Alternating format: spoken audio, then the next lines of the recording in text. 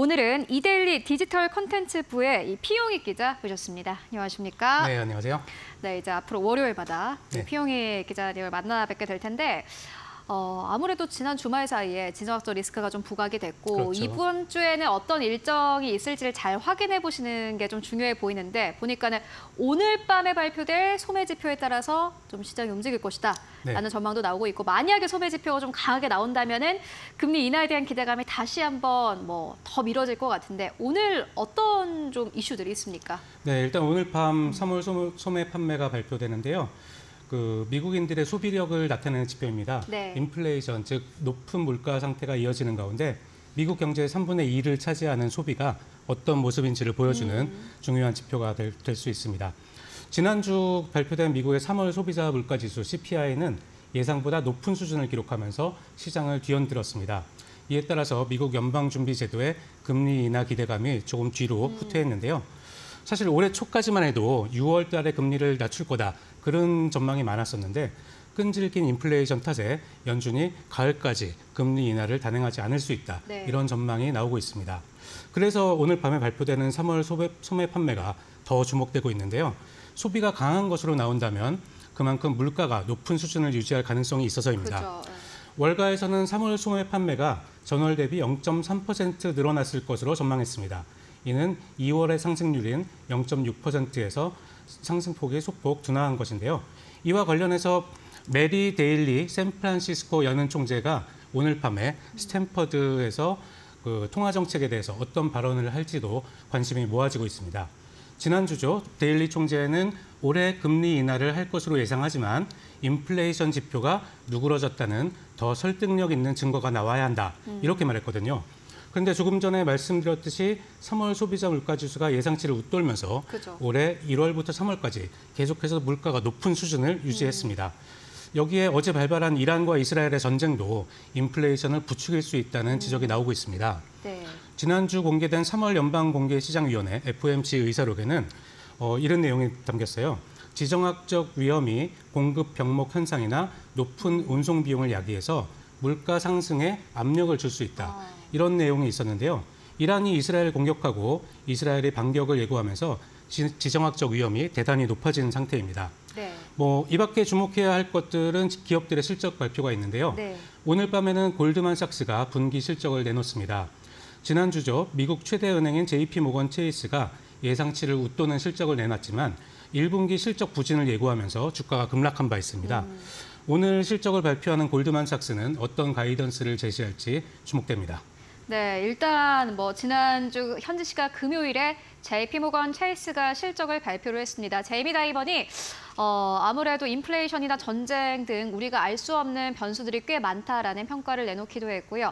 뭐 이번 주에는 많은 기업들의 실적 발표 있습니다. 여기에 더불어서 지난주에 발표됐던 CPI가 좀 높게 나왔고 반대로 또 선행 지표인 PPI가 그나마 조금 안정을 찾으면서 네. 시장에서는 이번 소매 판매 지표에 대한 좀 기대감을 가지고 있는데 오늘 밤에도 많은 기업들 실적을 또 발표를 하죠. 또 화요일 밤이요. 음. 예, 그렇죠. 화요일 밤에는 화요일 일단 우리나라부터 짚어보면은 네. 한국은행이 3월 수출입 물가 지수를 발표합니다. 음. 2월 달의 경우를 보면은 국제 유가랑 원 달러 환율이 오르면서 우리나라 수입 물가 지수가 1월보다 1.2% 상승했습니다. 지난해 11월과 12월 두 달 연속 떨어졌다가 올해 1월에 반등한 뒤 2개월 연속 오름세를 보였는데요. 네. 3월에도 유가 강세와 원달러 상- 환율 상승이 이어진 만큼 석 달째 수입 제품의 전반적인 가격 수준이 높아졌을 것으로 보입니다. 어, 수입 물가가 이렇게 계속 오르면 결국 우리나라 소비자 물가를 밀어 올릴 수 있다는 점에서 어, 내일 발표되는 지표가 주목이 되고 있습니다. 중국으로 가보면은 중국에서는 1분기 국내 총생산 GDP가 발표됩니다. 최근에 신용평가사 피치는 공공재정 위험을 이유로 중국의 국가신용 등급을 등급 전망을 부정적으로 낮췄습니다. 중국 경제에 대한 우려가 커지는 모양새인데요. 그렇죠. 이런 상황에서 발표되는 1분기 성장률에 대한 시장의 추정치는 4.6%입니다. 이는 올해 중국의 성장률 목표인 5.0% 안팎에 못 미치는 수치입니다. 뭐 중국 국가통계국은 같은 날 3월 소매 판매, 산업, 산업 생산 이런 월간 주요 지표도 발표를 할 예정입니다. 어, 이제 미국으로 가보면은 3월 산업 생산이 나오고요. 또 모건 스탠리의 실적 발표가 예정돼 있습니다. 또 중요한 건 IMF가 세계 전망 보고서를 내놓는데요.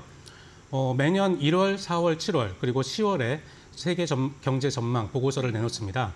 지난 1월에 내놓은 보고서에서는 우리나라의 올해 경제 성장률 전망치를 2.2%에서 2.3%로 0.1%포인트 상향 조정한 바 있습니다. 이번에는 어떤 판단을 내릴지 주목이 됩니다. 네.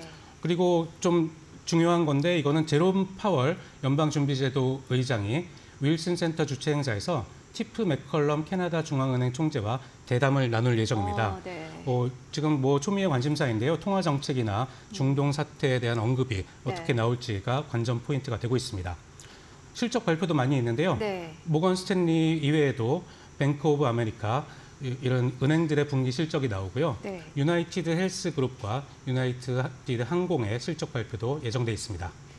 네, 이렇게 일단 뭐 화요일에도 역시나 마찬가지로 중요한 일정들 많이 대기가 되어 있습니다. 말 그대로 이번 주에는 뭐 대형 은행들이 실적을 발표를 할 예정이고요. 그리고 무엇보다 중국의 GDP가 나오기 때문에 이러한 부분들이 좀 아시아 증시를 흔들 수 있겠다라는 생각이 듭니다. 여기에 더불어서 어, 화요일 밤에는 또 유나이티드 헬스그룹 그리고 유나이티드 항공 등이 실적을 발표를 하는데 유나이티드 항공이 앞으로 유가 전망치를 어느 정도 볼지 그리고 영업이익단을 얼마나를 볼지가 결국에는 또 다른 항공업계 초미의 관심사가 되고 있고요. 수요일도 역시나 마찬가지로 뭐 앞서서 말씀해 주셨습니다만 파월 의장의 발언이 있고 난 다음 날에 네. 베이지북이 공개가 되더라고요. 네, 음. 그렇습니다.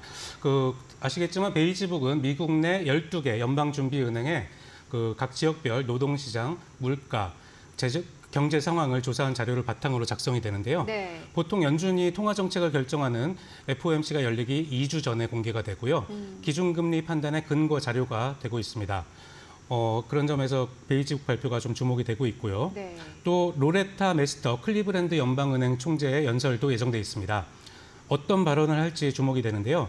메스터 총재는 매파적인 그러니까 통화 긴축을 선호하는 입장을 그동안 주로 보여왔습니다. 아, 네. 이달 초에 있었던 한 행사에서는 금리를 너무 일찍 내리는 데 따르는 위험이 너무 늦게 내리는 데 따르는 위험보다 더 크다.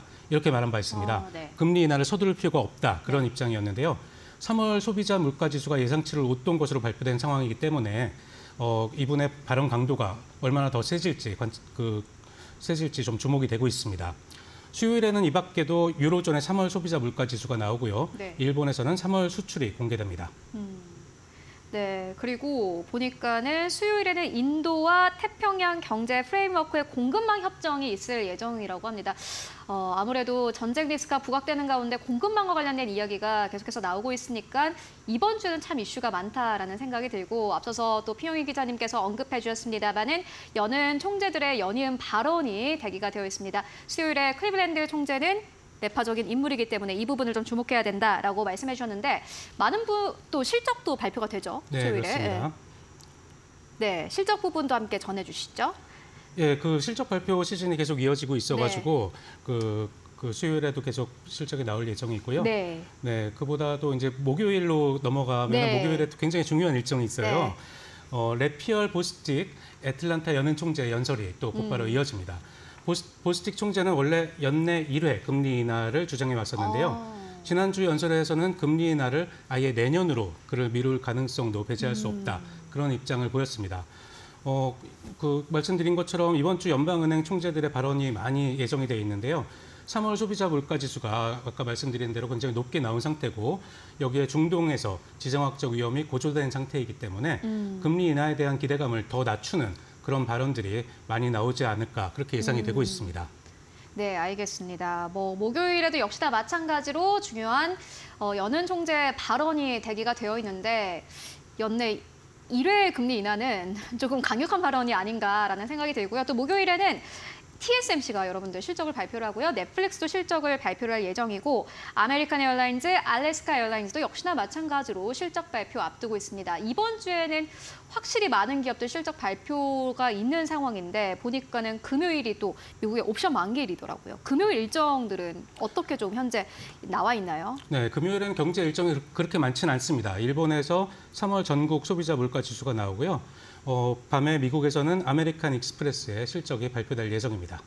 네, 알겠습니다. 슐럼버거도 역시나 마찬가지로 실적 발표 앞두고 있는 상황인데 그렇다면 기자님은 오랫동안 또 증권 시장을 보시지 않으셨습니까? 네. 이번 주에 나오는 지표들 가운데서 아무래도 이건 좀 진짜 중요할 것 같다라고 보시는 거 있으실까요? 아무래도 소매 판매 미국에서 나오는 3월 소매 판매를 가장 주목해야 될 것 같습니다. 아까 말씀드렸듯이 어, 3월 CPI가 높게 나온 상태이기 음. 그죠, 때문에 예. 이런 미국인들의 소비 소비력이 얼마나 유지되고 있는지 또 이게 물가를 얼마나 끌어올릴 수 있을지 결국은 그게 연준의 금리 정책의 그 판단 근거가 되기 때문에 그죠. 가장 주목이 되는 지표라고 할 수 있습니다. 네, 알겠 습니다. 오늘 밤에 소매 판매 지표가 어떻게 발표되느냐에 따라서 시장의 분위기가 또 달라질 수 있다라고 함께 이야기 나눠보고 왔습니다. 지금까지 이데일리 디지털 컨텐츠부의 피용익 기자와 함께했습니다. 고맙습니다. 고맙습니다.